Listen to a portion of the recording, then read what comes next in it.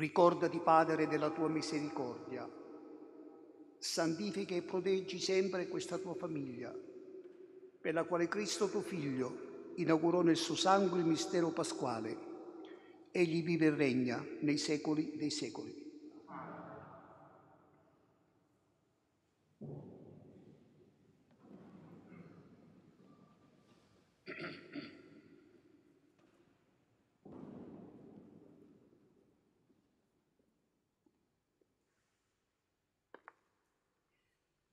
Dal libro del profeta Isaia.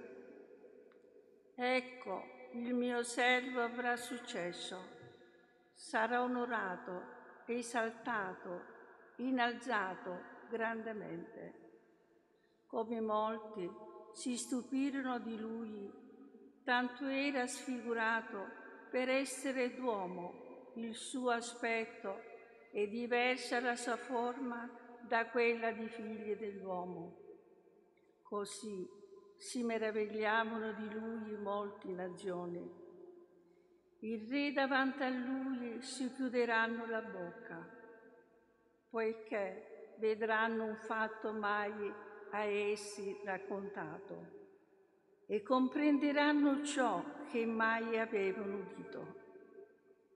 Chi avrebbe creduto al nostro annuncio?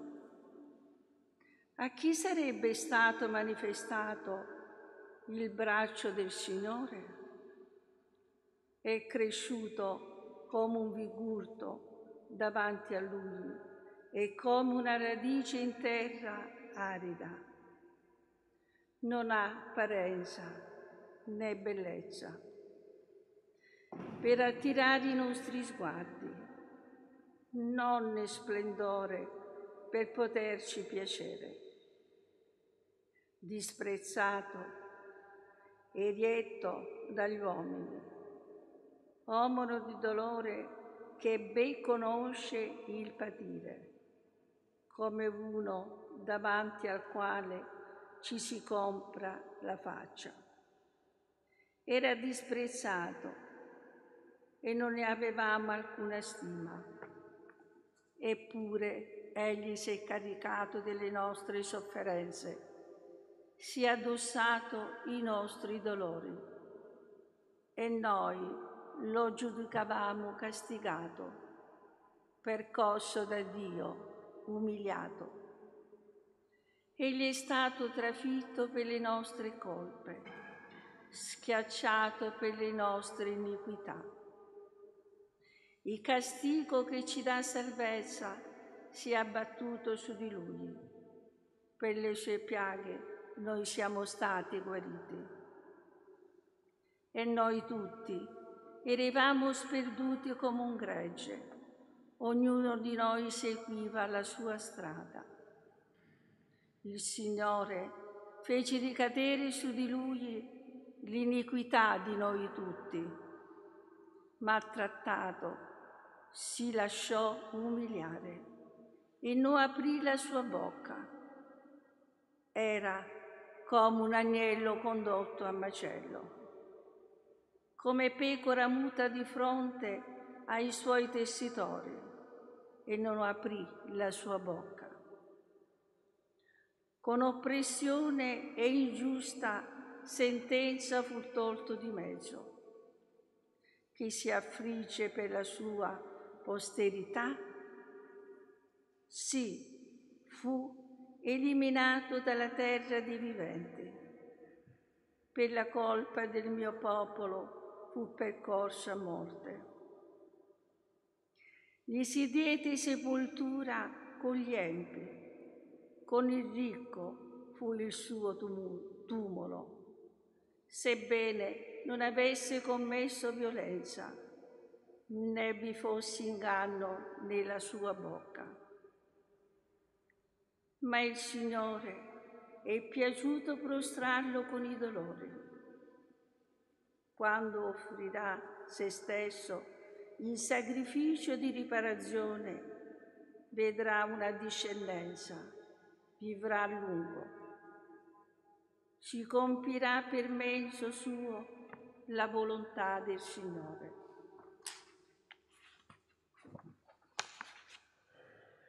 Dopo il suo intimo tormento vedrà la luce e si sazierà della sua conoscenza. Il giusto, mio servo, giustificherà molti. Egli si addosserà le loro iniquità. Perciò io gli darò in premio le moltitudini.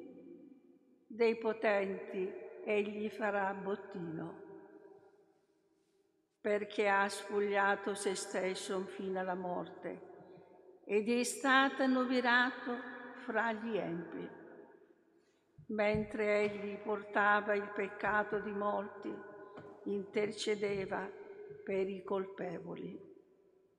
Parola di Dio.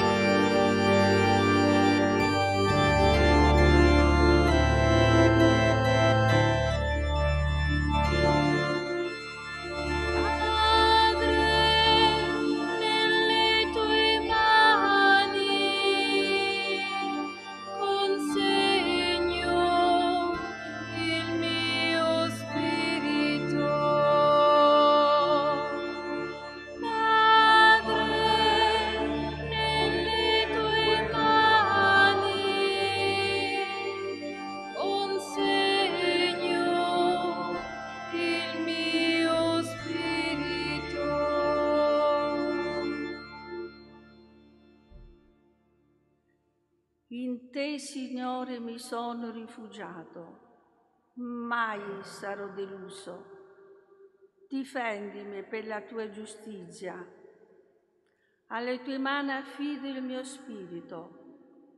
Tu mi hai riscattato, Signore Dio fedele.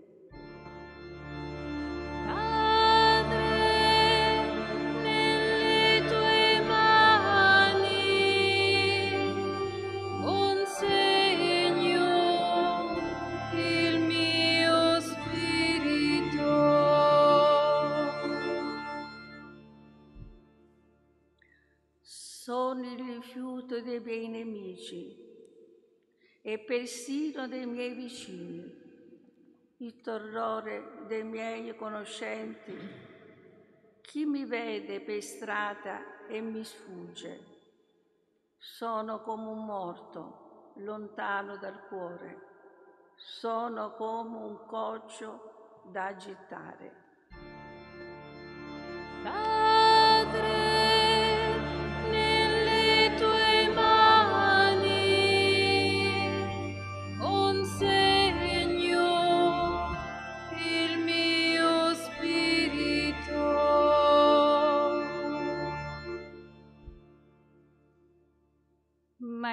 confidi in te, Signore. Dico, tu sei il mio Dio e i miei giorni sono nelle tue mani. Liberami dalla mano dei miei nemici e dei miei persecutori.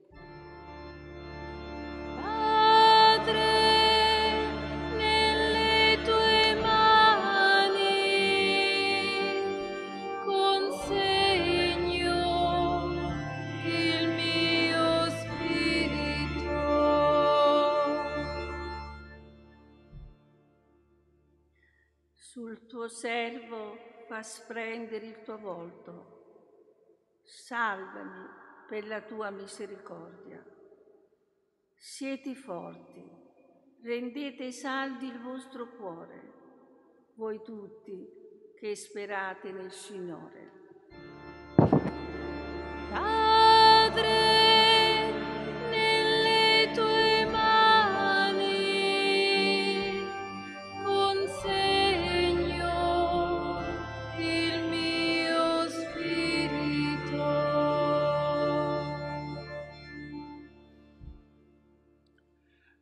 Dalla lettera agli ebrei. Fratelli, poiché abbiamo un sommo sacerdote grande che è passato attraverso i cieli, Gesù, il Figlio di Dio, manteniamo ferma la professione della fede.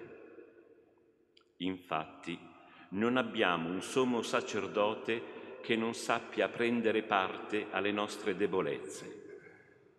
Egli stesso è stato messo alla prova in ogni cosa come noi, escluso il peccato. Accostiamoci dunque con piena fiducia al trono della grazia per ricevere misericordia e trovare grazia, così da essere aiutati al momento opportuno. Cristo infatti, nei giorni della sua vita terrena, offrì preghiere e suppliche, con forti grida e lacrime, a Dio che poteva salvarlo da morte e per il suo pieno abbandono a Lui venne esaudito. Pur essendo figlio, imparò l'obbedienza, da ciò che patì e reso perfetto, divenne causa di salvezza eterna per tutti coloro che gli obbediscono. Parola di Dio. Rendiamo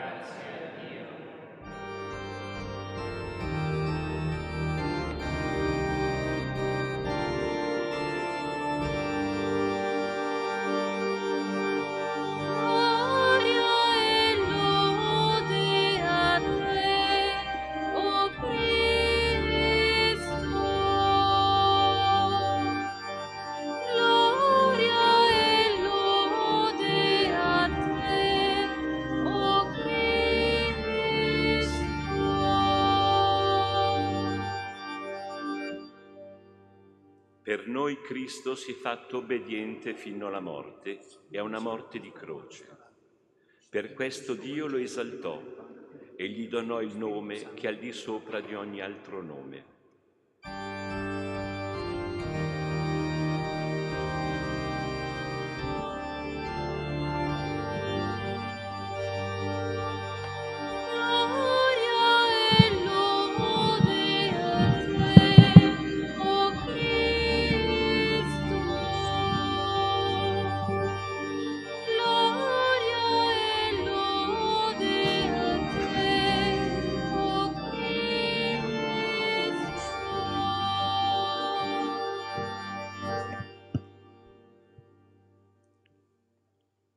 Passione di nostro Signore Gesù Cristo, secondo Giovanni.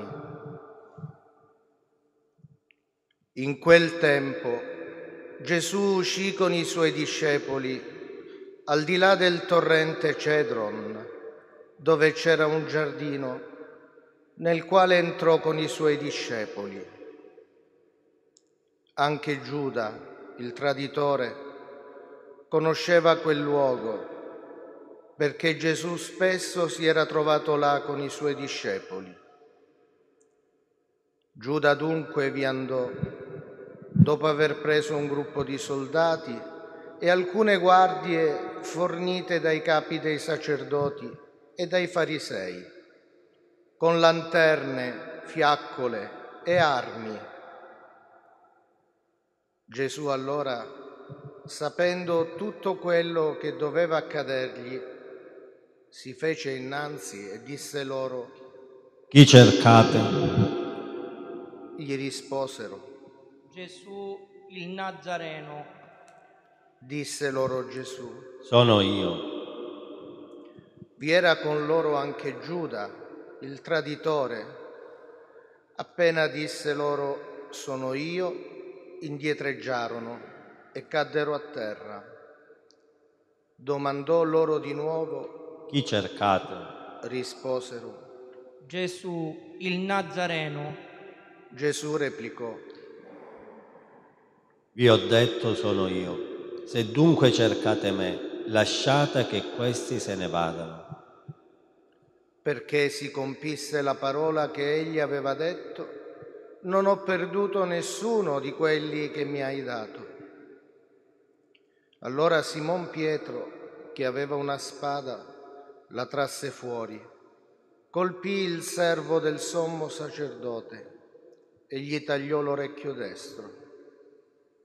Quel servo si chiamava Malco. Gesù allora disse a Pietro, Rimetti la spada nel fodero, il calice che il Padre mi ha dato, non dovrò berlo?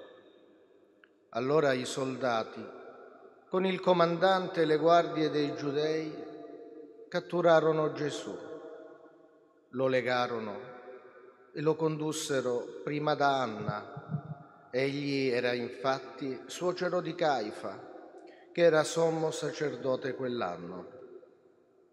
Caifa era quello che aveva consigliato ai giudei è conveniente che un solo uomo muoia per il popolo.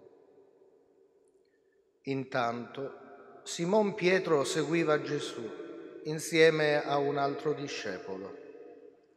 Questo discepolo era conosciuto dal sommo sacerdote ed entrò con Gesù nel cortile del sommo sacerdote.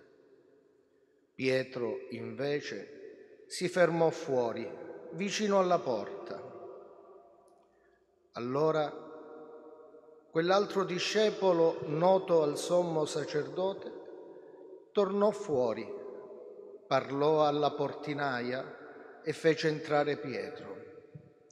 E la giovane portinaia disse a Pietro, Non sei anche tu uno dei discepoli di quest'uomo? Egli rispose, Non lo sono.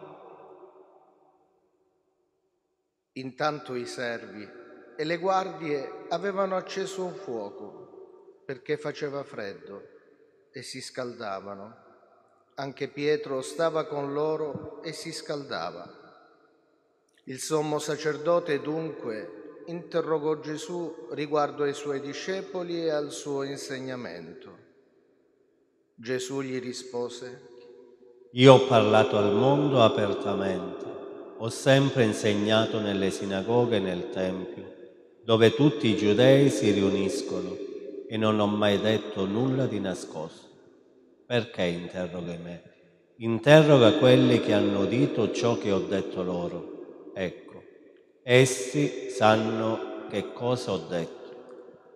Appena detto questo, una delle guardie presenti diede uno schiaffo a Gesù dicendo, Così rispondi al sommo sacerdote? Gli rispose Gesù. Se ho parlato male, dimostrami dove è il male, ma se ho parlato bene, perché mi percuoti? Allora Anna lo mandò con le mani legate a Caifa, il sommo sacerdote. Intanto Simon Pietro stava lì a scaldarsi. Gli dissero, non sei anche tu uno dei suoi discepoli?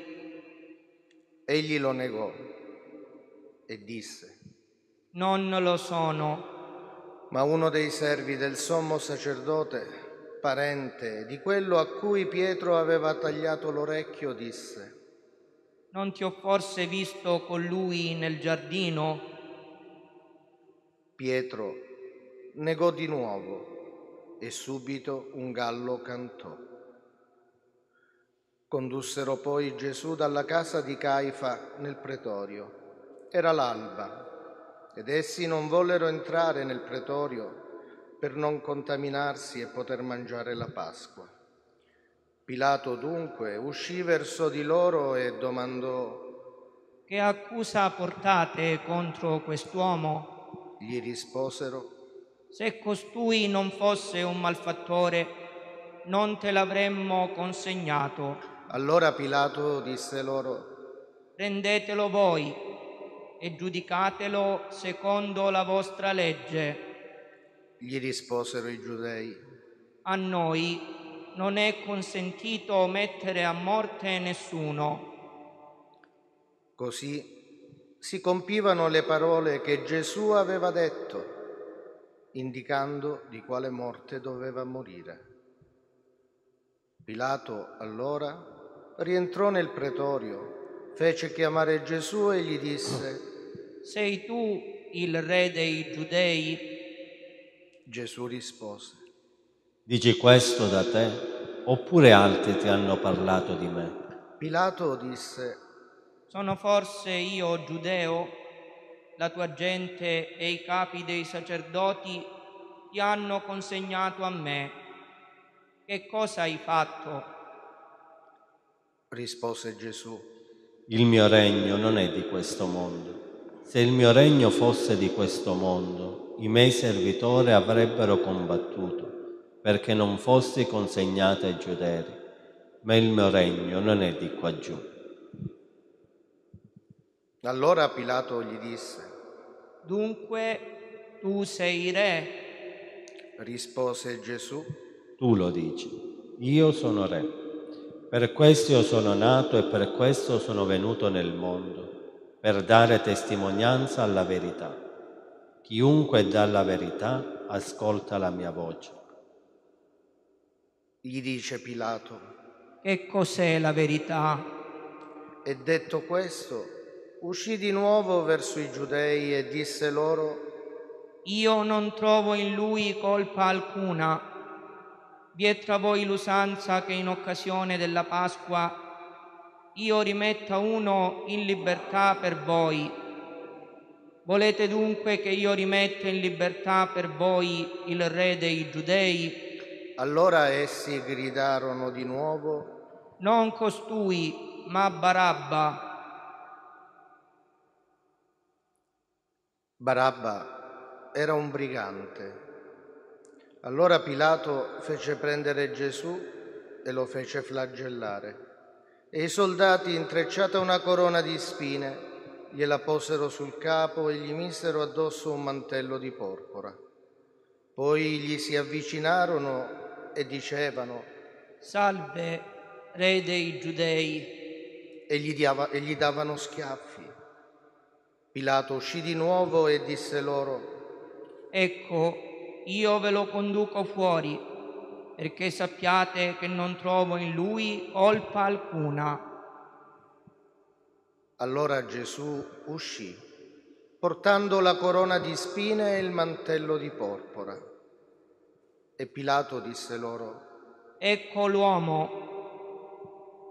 come lo videro, i capi dei sacerdoti e le guardie gridarono, Crocifiggilo, crocifiggilo, disse loro Pilato. prendetelo voi e crocifiggetelo. Io in lui non trovo colpa. Gli risposero i giudei, Noi abbiamo una legge e secondo la legge deve morire perché si è fatto figlio di Dio. All'udire queste parole, Pilato ebbe ancor più paura, entrò di nuovo nel pretorio e disse a Gesù, Di dove sei tu? ma Gesù non gli diede risposta. Gli disse allora Pilato, Non mi parli?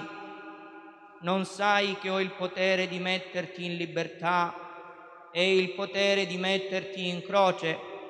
Gli rispose Gesù, Tu non avresti alcun potere su di me se ciò non ti fosse stato dato dall'alto. Per questo, chi mi ha consegnato a te ha un peccato più grande. Da quel momento Pilato cercava di metterlo in libertà, ma i giudei gridarono, Se liberi costui, non sei amico di Cesare. Chiunque si fa re si mette contro Cesare. udite queste parole, Pilato fece condurre fuori Gesù e sedette in tribunale, nel luogo chiamato Litostroto, in ebraico Gabbatà. Era la parasceve della Pasqua, verso mezzogiorno. Pilato disse ai giudei, Ecco il vostro re.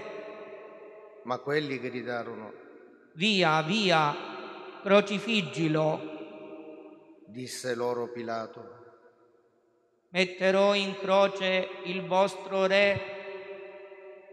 risposero i capi dei sacerdoti, Non abbiamo altro re che Cesare. allora lo consegnò loro perché fosse crocifisso. Essi presero Gesù ed egli, portando la croce, si avviò verso il luogo detto del cranio, in ebraico Golgota, dove lo crocifissero, e con lui altri due, uno da una parte e uno dall'altra, e Gesù in mezzo. Pilato compose anche l'iscrizione e la fece porre sulla croce. Vi era scritto Gesù il Nazareno, il re dei giudei. Molti giudei lessero questa iscrizione perché il luogo dove Gesù fu crocifisso era vicino alla città. Era scritta in ebraico, in latino e in greco. I capi dei sacerdoti dei giudei dissero allora a Pilato, non scrivere il re dei giudei, ma costui ha detto, io sono il re dei giudei. Rispose Pilato, quel che ho scritto, ho scritto. I soldati poi, quando ebbero crocifisso Gesù, presero le sue vesti, ne fecero quattro parti, una per ciascun soldato, e la tunica. Ma quella tunica era senza cuciture tessuta tutta d'un pezzo da cima a fondo. Perciò dissero tra loro, non stracciamola, ma tiriamo a sorte a chi tocca. Così si compiva la scrittura che dice, si sono divisi tra loro le mie vesti e sulla mia tunica hanno gettato la sorte. E i soldati fecero così stavano presso la croce di Gesù, sua madre, la sorella di sua madre, Maria, madre di Cleopa e Maria di Magdala. Gesù allora, vedendo la madre e accanto a lei il discepolo che egli amava, disse alla madre, Donna, ecco tuo figlio. Poi disse al discepolo, Ecco tua madre. E da quell'ora il discepolo l'accolse con sé. Dopo questo Gesù, sapendo che ormai tutto era compiuto affinché si compisse la scrittura, disse, Ho sete. Vi era lì un vaso pieno di aceto. Posero perciò una spugna imbevuta di aceto in cima a una canna e gliela accostarono alla bocca. Dopo aver preso l'aceto, Gesù disse, è compiuto. E chinato il capo, consegnò lo spirito.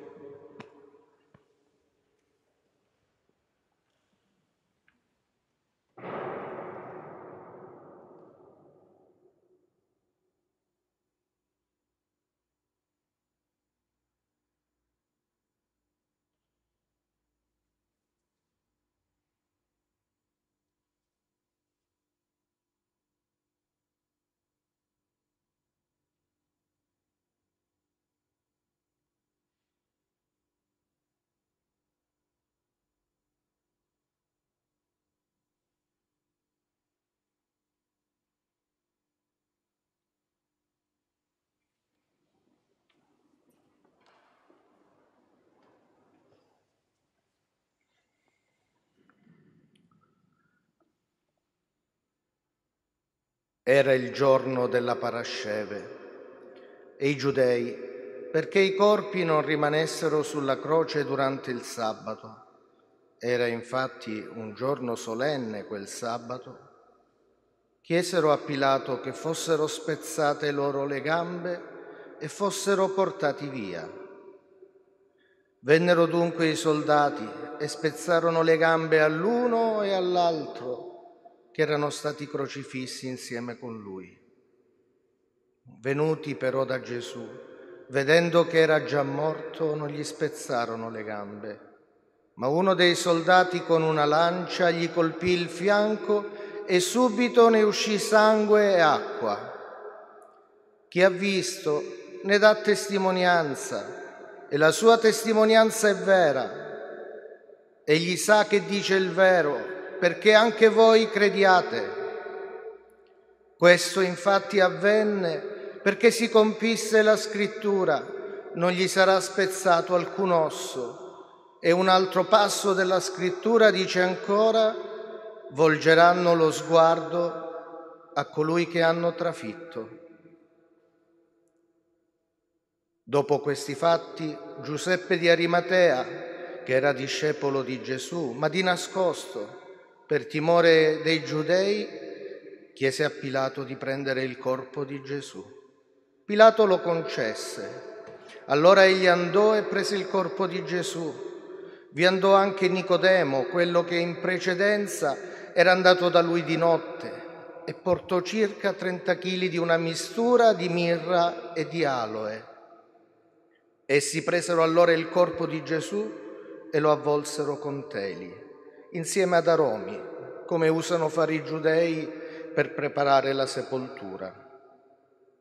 Ora, nel luogo dove era stato crocifisso vi era un giardino e nel giardino un sepolcro nuovo nel quale nessuno era stato ancora posto. Là dunque poiché era il giorno della parasceve dei giudei e dato che il sepolcro era vicino, posero Gesù. Parola del Signore.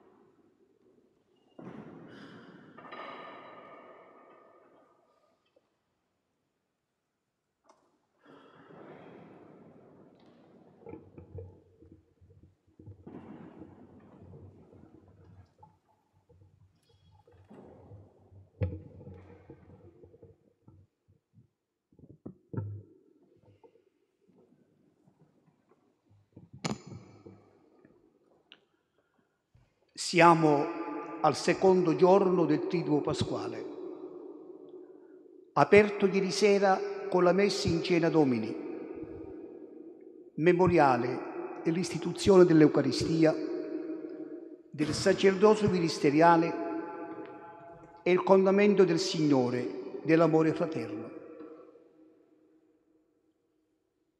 Alle due solenni liturgie dense di gesti espressivi la benedizione degli oli, la consacrazione del crisma, quest'anno rimandate per motivi che sappiamo, la rinnovazione delle promesse sacerdotali al mattino, la lavanda dei piedi nelle ore vespertine. Oggi, per antichissima tradizione, non si celebra l'Eucaristia.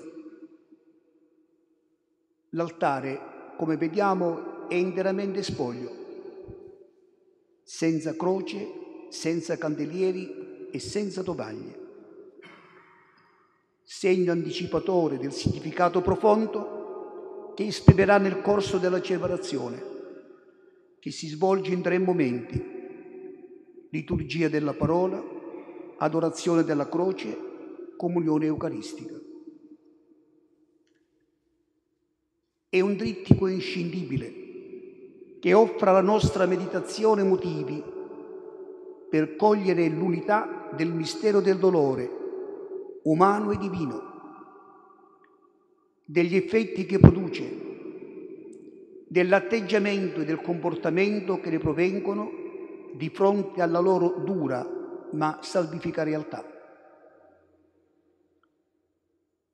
La liturgia della parola è dominata dalla proclamazione del racconto della passione del Vangelo di Giovanni, introdotto da Isaia, con la figura di un servo sofferente a motivo degli uomini, con violenze inedite, consapevole delle tribolazioni che subisce, permesse da Dio, ma proprio per questo suo patire, morire, scomparire dalla vista degli uomini, pur essendo innocente in tutto, premiato da Dio, con la moltitudine delle genti, cioè dell'umanità per cui ha sofferto. Le abbiamo già ascoltato le fasi prossime dopo l'avvio festoso domenica scorsa. la Domenica delle Palme della Passione del Signore, nella narrazione dell'Evangelista Matteo. Oggi Giovanni pone l'attenzione sul processo davanti a Pilato. È lo sblocco delle manovre iniziate da tempo nelle mene di farisei e capi del popolo, confluite e definite con la condanna a morte pronunciata artatamente in contesto religioso dal sommo sacerdote con il Sinedrio, e quindi di un odio interno, intestino nei confronti di Gesù, consumati in ambito di presunta fede di Israele da difendere, praticamente cieco e lontano dalla verità di Dio sul mondo quale andava rivelandosi in Gesù. Nel legame con questi precedenti, il processo ha ora come tribunale il mondo e come avviene nelle dinamiche delle procedure umane, si verifica lo schieramento tra colpevolisti e innocentisti, messi non d'accordo ma zittiti con opposte reazioni di accoglienza dal verdetto della sentenza finale. Dio solo sa quanto corrispondente alla giustizia, nonostante tutta la legalità seguita. I personaggi del primo grado di giudizio esprimono bene la scelta di campo operato in maturazione. Giudi il traditore, il gruppo di soldati di guardia, fornite dei capi dei sacerdoti e dei farisei, un Pietro prima violento di spada, poi timoroso e bugiardo. Anne Caifa, i burattinai. Dinanzi a loro Gesù, coscienti di quanto sta per avvenire, pronto a dichiarare la sua identità nella verità e nella potenza di Dio uomo, tale da provocare non un'immediata cattura, ma un'inconsapevole reazione di terrore. Sono io quello che cercate, è una difesa dei suoi. Lasciate che i miei innocenti, estranei alle vostre mire, se ne vadano. E quale silenzio dei violenti dinanzi a Gesù, che rivendica a Caifa le colpe sulle quali l'interrogatorio si poggerebbe, cioè su quali prove documentate e documentabili. Mai fatto niente di nascosto o di clandestino, ma tutto apertamente di fronte al mondo, nel Tempio, nella sinagoga. Aggiungiamo noi anche fuori di questi luoghi sacri, in giro da tre anni per città e villaggi, a tutte le ore del giorno, con fatti prodigiosi e straordinari, conferme pubbliche dell'accreditamento del Padre per le opere compiute nel suo nome. Cose tutte così note e pubbliche su cui i testimoni possano ben dire la verità. Silenzio a queste domande e all'altra posta ad una manesca guardia, zelante difensore del sommo sacerdote. In effetti, la chiarezza della verità e la sua evidenza sono il più grande insopportabile fastidio per chi nell'errore, cioè sulla banda opposta della verità, è radicato e convinto della propria verità. Su questo nodo cruciale ruota il processo davanti a Pilato. L'uomo dei pubblici poteri, amministrativo e giudiziale, si mostra convinto dell'innocenza di chi gli è stato portato in giudizio, ma altrettanto sicuro e timoroso che se non avesse ceduto alla pressione mediatica della folla, avrebbe poi dovuto cedere dinanzi a Cesare del quale era rappresentante in terra di conquista, con sicuro esito letale per lui, con l'accusa di non difesa di lesa maestà. Da quel pretorio continua nei secoli e nel mondo la domanda delle domande. Che cos'è la verità? Tu che dici essere venuto nel mondo proprio per dare testimonianza alla verità? Quale altra risposta poteva darsi rispetto all'identità offerta da Gesù?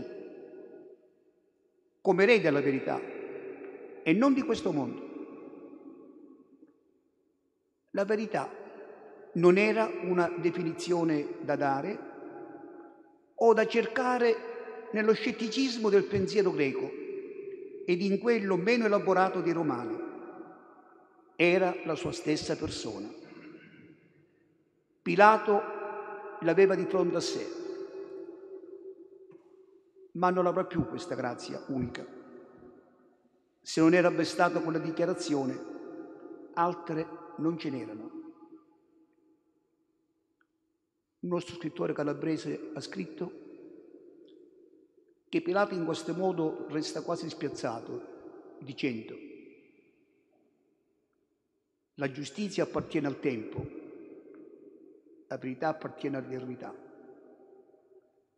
E come difficile mettere insieme una giustizia amministrata secondo i criteri del tempo, delle consuetudini delle sensibilità è la verità che va oltre il tempo perché è radicata in Dio.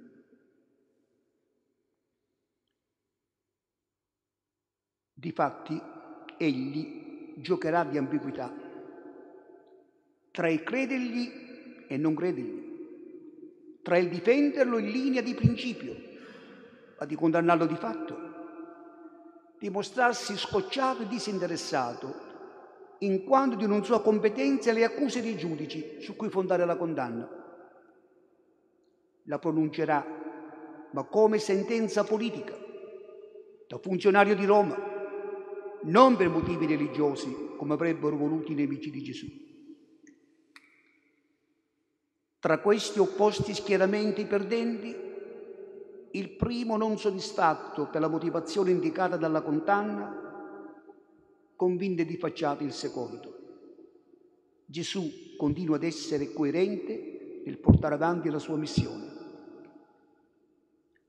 A nulla serviranno le rimostranze a Pilato per aver scritto nel titolo in capo alla croce Gesù Nazareno re dei Giudei, nelle lingue di abitanti e pellegrini in Gerusalemme in quei giorni, ebrei, romani, greci. Di quest'uomo di potere mandatario ultimo della pena di morte, le comunità cristiane dei primi secoli esigeranno l'espressa menzione nella professione di fede, perché si ricordi che la passione e la morte sono stato un fatto storico preciso nel simbolo niceno costantinopolitano. Gesù patì sotto Ponzio Pilato l'unico nome di persona laica, preceduto da quello benedetto di Maria, della Madre del Signore. Nacque da Maria Vergine. Dal litostro Togabatà al luogo cranio Golgota, dal tribunale al luogo del supplizio, il tragitto sarà non meno doloroso e oltraggioso di quanto fisicamente e moralmente sopportato per un'intera nottata e una mezza giornata. Poi la crocifissione, con tutte le cruente sequenze, icone per insegnamento ai posteri, completano il più grande martirio e martire della storia. La cunica in divisa, divisa dai soldati, l'affidamento di Maria Giovanni, di Giovanna Maria, la rossura finale inappagata, l'ultimo respiro. Dinanzi a tanta rivelazione di amore infinito, convincente di verità anche più scettici. C'è qualcuno che dice prendetevelo con tutti, i seguaci del Signore con la Chiesa, ma lasciate stare il crocifisso. L'Assemblea avverte il bisogno e la necessità di rivolgersi a Padre, Dio Onnipotente ed Eterno, con nuove intenzioni di preghiera, tra poco, ognuna delle quali ad onde concentriche apre nell'altra con il desiderio e volontà che nessuna categoria di persone, dentro e fuori dalla Chiesa, resti esclusa, perché dei benefici del sacrificio universale di Cristo anche se lui, ignaro avversario, ognuno possa usufruire. Per chi questa intenzione? La Santa Chiesa, il Papa, tutti gli ordini sacri e tutti i fedeli, i catecumeni, gli ebrei, i non cristiani, coloro che non credono in Dio, i governanti, i tribolati, quest'anno ricordati con una particolare intenzione per il mio avversario del Covid-19. Ci sono tutti, veramente tutti i figli di Dio, per il quale il figlio di Dio si è fatto fratello universale, solidale, redentore. Ora il Padre può ascoltare con maggiore benevolenza la preghiera che la Chiesa gli ha presentato proprio all'inizio della settimana santa di guardare l'umanità sfinita per la sua debolezza mortale, perché riprenda vita per la passione del Figlio unico suo Gesù, come abbiamo pregato nella colletta della messa del santo. L'adorazione della croce. Portati sul Calvario ad assistere al dramma dell'uomo Dio, con l'adorazione della croce siamo al centro e all'apice della celebrazione di questo giorno. Gesù ha chiuso gli occhi del corpo sulla scena di questo mondo, ma noi ora siamo chiamati ad aprirle su di Lui, non più per guardare gli accadimenti, ma per vedere nel martoriato la vittima per la nostra salvezza, sulla croce l'altare dell'immolazione e con la nostra adorazione l'atto di fede più necessario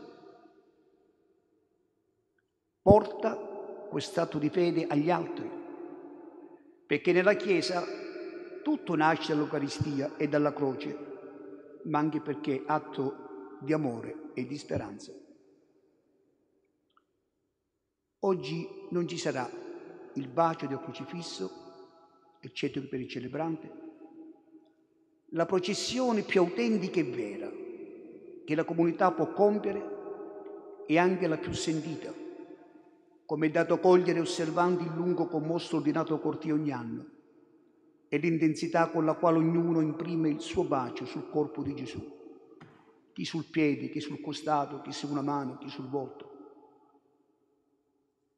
Questo gesto, carissimi tutti che ci seguite anche attraverso streaming, questo gesto di affetto e di compassione, possiamo farlo a casa nostra.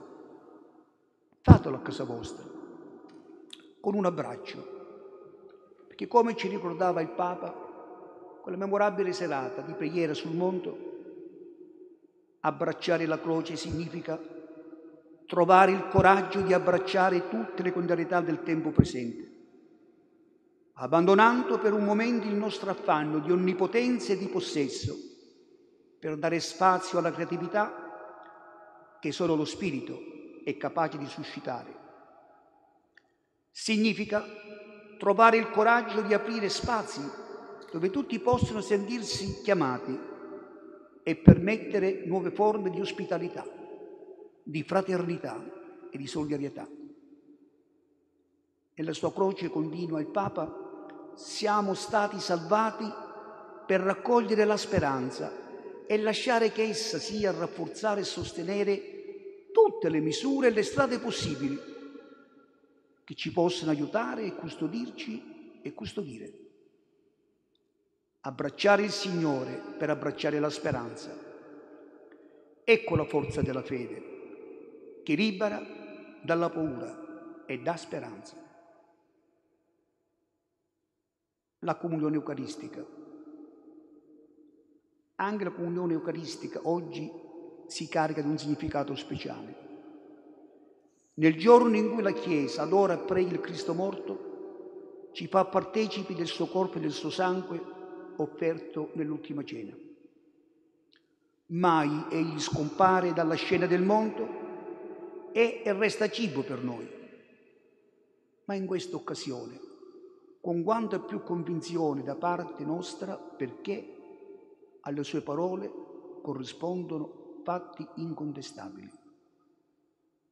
Questo è il mio corpo dato per voi, questo è il mio sangue, parole inverate a distanza di poche ore dei fatti della passione. Due sere si toccano, quella della cena del Signore e quella della sua deposizione nel sepolcro. Un'intera giornata, la più lunga e pesante di Gesù. Conclusione e soddisfazione certo illusoria, falsa e apparente, di tante macchinazioni umane messe in moto con accelerazione costante dai suoi nemici dichiarati, da altri aggiuntisi dopo, o è coinvolto agli ultimi eventi, perché chi è privo di pensiero proprio è leggero, come un foglio ingiallito, si lascia trasportare del vento ed è sempre facile esca delle impressioni forti e trascinate dall'onda l'opinione di massa, ieri come oggi. La verità non è un sistema di suffragi di democrazia, e neanche di maggioranza assoluta statistica. La verità è il riflesso di Dio e o la contempliamo nella sua essenza autentica o quello di cui andiamo in cerco sono surrogati. Dentro la Chiesa certe volte, altre volte è in modo molto pesante fuori. Ma è un giorno questo che non appartiene al potere umano. Sono il giorno e l'ora scelti dal Padre e dal Figlio accettato nella forza dello Spirito, nell'unzione a Messia Salvatore. Per questo, giorni ed ore, Giovanni lo nota spesso, nella fretta dei disegni dei progetti omicidi, fino a questo momento sono andate sempre tutti falliti. L'assemblea a fine celebrazione si scioglie in silenzio e a tempo opportuno. E in silenzio, domani sabato santo, la Chiesa sosterrà presso il sepolcro del Signore. È un silenzio di unione mistica, ma anche di imitazione di Gesù, che tace perché è morto, ma chi ha taciuto ha fatto silenzio anche da vivo dinanzi alle prime incalzanti accuse contro l'adultera, dinanzi a Pilato in cerca del senso della verità e della sua provenienza. Di dove sei tu?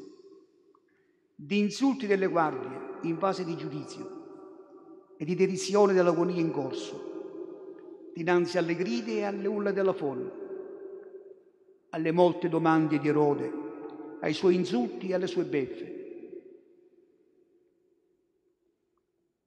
A Pietro solo parla con uno sguardo così profondo da provocare nel primo degli apostoli rinnegatori un pianto amaro. Ci resti questa lezione del silenzio quando anche noi messi in croce e partecipi della sua passione, perché si completi quando ci manca di essa, sappiamo imitare l'esempio ed averne la forza perché? A chi non ha voluto capire né sentire ragioni nel giorno del confronto, non servono poi i giorni e le ore dei pentimenti finali. Non siamo soli. Accanto c'è la Mater dolorosa del mistero del Figlio, la Madre del silenzio. In silenzio conservante e meditante tutto ciò nel suo cuore dall'annunzio della maternità alle prime esperienze del ruolo di madre, all'ultimo epilogo questa sera. E quando questa sera ci regheremo nel santuario della Beate Vergine del Carmelo per la nostra via Matris, lo capiamo. La nostra meditazione continua cercando di metterci nell'elaborazione della Madonna. Solo una madre capisce l'altra madre e a chi pensi di avvicinarsi a questo dolore è dato soltanto di accostarsi. Maria di questo figlio sapeva le origini e adesso vede alla fine ci aiuti sempre quando abbiamo bisogno di lei, anche nelle nostre croci, nel nostro silenzio. Amen per tutti noi.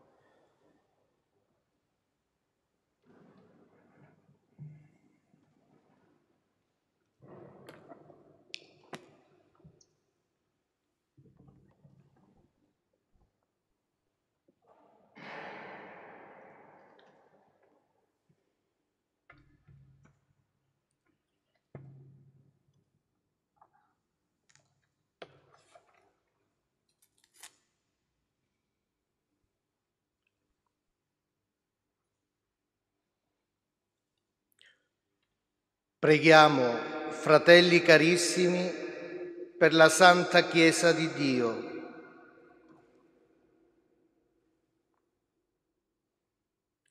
Il Signore le conceda unità e pace, la protegga su tutta la terra e doni a noi in una vita serena e tranquilla di render gloria a Dio Padre Onnipotente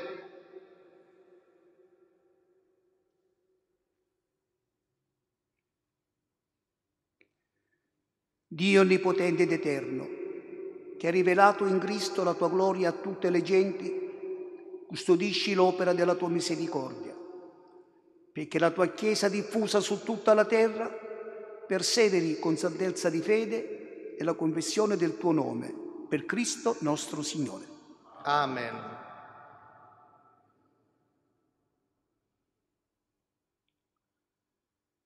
Preghiamo il Signore per il nostro Santo Padre, il Papa Francesco.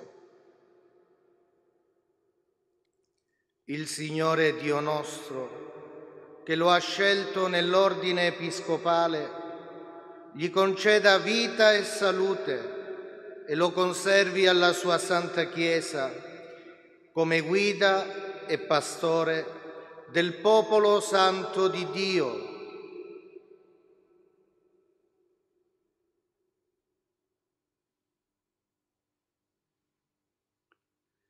Dio onnipotente ed eterno, sapienza che regge l'universo, ascolta la tua famiglia in preghiera e custodisci con la tua bontà il Papa che tu hai scelto per noi, perché il popolo cristiano da te affidata la sua guida pastorale, progredisca sempre nella fede, per Cristo nostro Signore.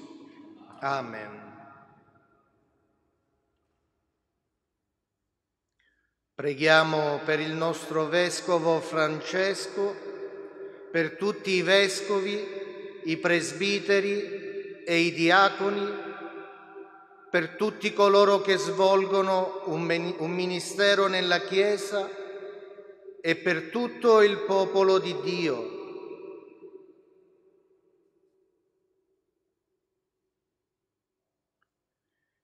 Dio onnipotente ed eterno, che con il tuo Spirito guidi e santifichi tutto il corpo della Chiesa, accogli le preghiere che ti rivolgiamo, perché secondo il dono della tua grazia, tutti i membri della comunità, nel loro ordine e grado, ti possano fedelmente servire.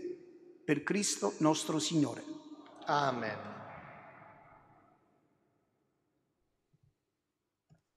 Preghiamo per i catecumeni. Il Signore Dio nostro illumini i loro cuori e apra loro la porta della sua misericordia, perché mediante l'acqua del battesimo ricevano il perdono di tutti i peccati e siano incorporati in Cristo Gesù nostro Signore.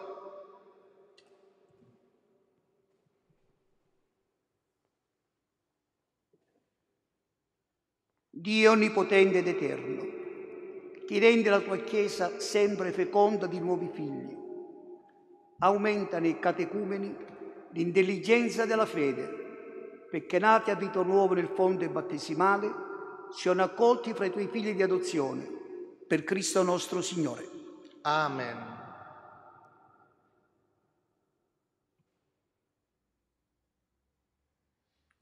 Preghiamo per tutti i fratelli che credono in Cristo. Il Signore Dio nostro conceda loro di vivere la verità che professano e li raduni e li custodisca nell'unica sua Chiesa.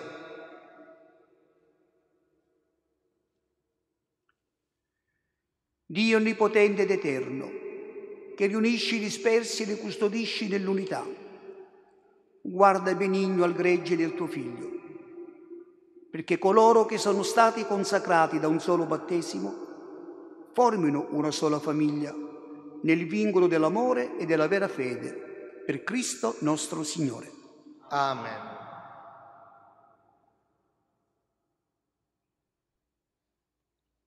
Preghiamo per gli ebrei. Il Signore Dio nostro, che li scelse primi fra tutti gli uomini ad accogliere la sua parola, li aiuti a progredire sempre nell'amore del suo nome e nella, e nella fedeltà alla sua alleanza.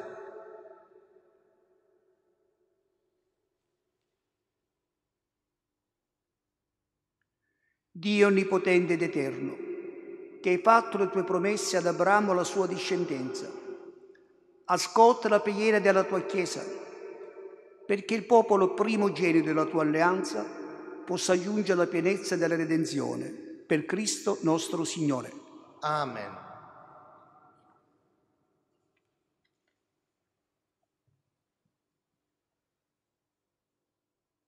Preghiamo per coloro che non credono in Cristo, perché illuminati dallo Spirito Santo possano entrare anch'essi nella via della salvezza.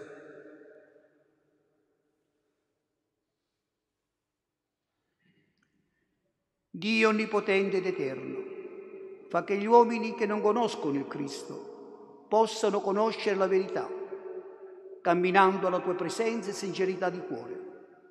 E a noi tuoi fedeli, concedi di entrare profondamente nel tuo mistero di salvezza e di viverlo con una carità sempre più grande tra di noi, per dare al mondo una testimonianza credibile del tuo amore. Per Cristo nostro Signore. Amen.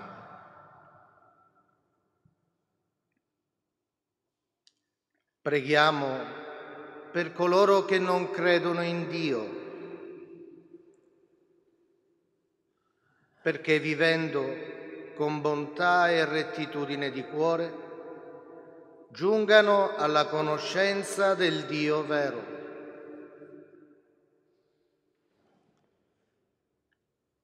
Dio onnipotente ed eterno, tu hai messo nel cuore degli uomini una così profonda nostalgia di te, che solo quando si trovano hanno pace. Fa che al di là di ogni ostacolo tutti riconoscano i segni della tua bontà e, stimolati dalla testimonianza della nostra vita, abbiano la gioia di credere in te, unico vero Dio e Padre di tutti gli uomini per Cristo nostro Signore. Amen. Preghiamo per coloro che sono chiamati a governare la comunità civile, perché il Signore Dio nostro illumini la loro mente e il loro cuore a cercare il bene comune nella vera libertà e nella vera pace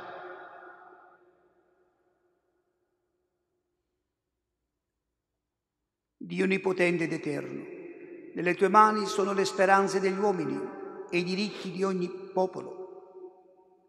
Assisti con la tua sapienza coloro che ci governano, perché con il loro aiuto promuovano su tutta la terra una pace duratura, il progresso sociale e la libertà religiosa, per Cristo nostro Signore. Amen.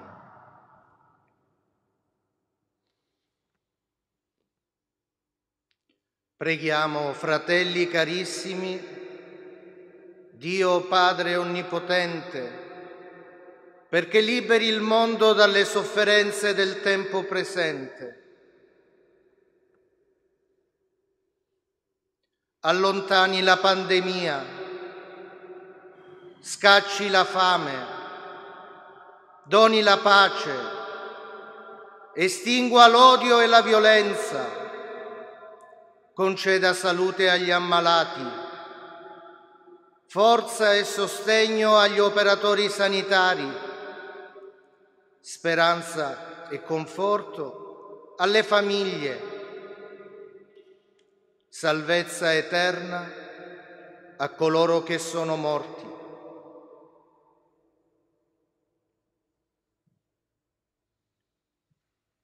Dio onnipotente ed eterno, conforti chi è nel dolore, sostegno i tribolati, ascolti le grida dell'umanità sofferente. Salvaci dalle angustie presenti e donaci di sentirci uniti a Cristo, medico dei corpi e delle anime, per sperimentare la consolazione promessa agli afflitti, per Cristo nostro Signore. Amen.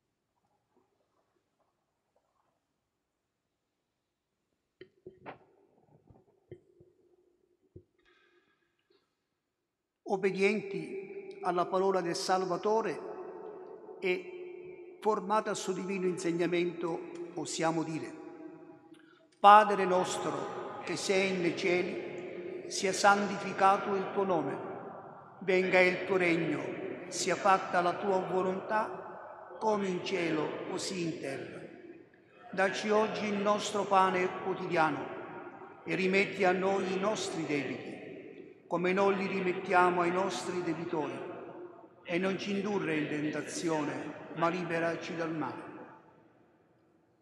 Liberaci, o oh Signore, da tutti i mali, concedi la pace ai nostri giorni e con l'aiuto della tua misericordia vivremo sempre liberi dal peccato e sicuri da ogni turbamento nell'attesa che si compia la beata speranza e venga il nostro Salvatore Gesù Cristo.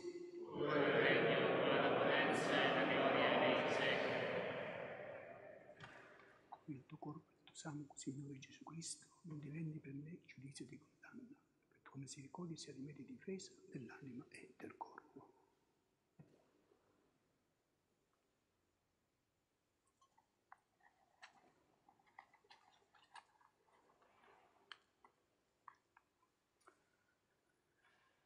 Beati gli invitati alla cena del Signore. Ecco l'agnello di Dio che toglie i peccati del mondo. O Signore, non sono degno di partecipare alla tua ma di soltanto una parola e Dio sarò solo.